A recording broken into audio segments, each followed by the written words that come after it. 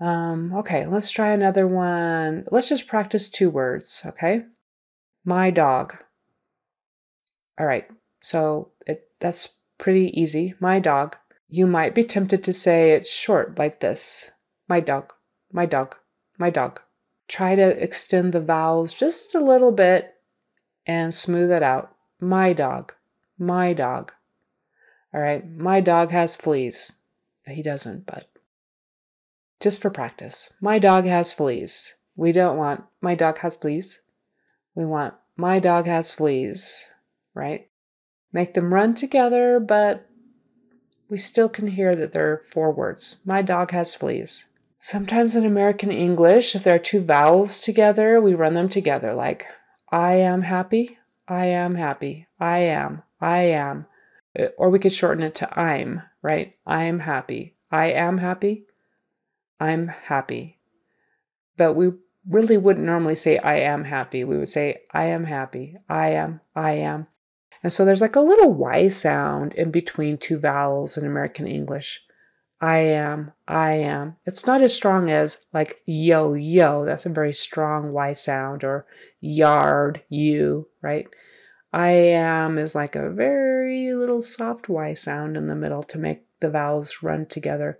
I am, but we can still differentiate. Um, think of the childhood song Old MacDonald you might not know Old MacDonald, um, but it's Old MacDonald had a farm, E I E I O, which is just a bunch of vowels together, right? E I E I O. Well, we don't sing it E I E I O. Um, that would sound robot like to us. E I E I O just doesn't work. It's E I E I O with a Y sound in between. E I E I O, right? Y is when your tongue goes back, the back part of your tongue goes and hits the back part of your mouth, right? E-I-E-I-O. Same thing with like I am, you are. There's not much of a Y in between those two. You are. By the way, my neighbor's dogs are driving me crazy if you can hear them. I try to make sure my dogs don't bark and annoy the whole neighborhood. Um, but my neighbor's dogs are big and loud and they bark constantly. So, if you have any ideas of a kind way to request that my neighbors buy a bark collar. I don't know, something.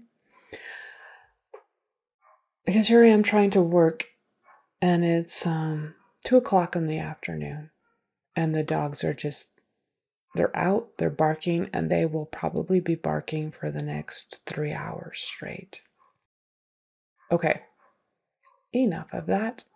You can practice my prosody the way I said those sentences. I'll try to tie that into our accent coaching session here. So, the point of this video is just smooth out your words, make the vowels a little bit longer, emphasize the important words so that you get your um, sentence stress correct. And I hope this helps.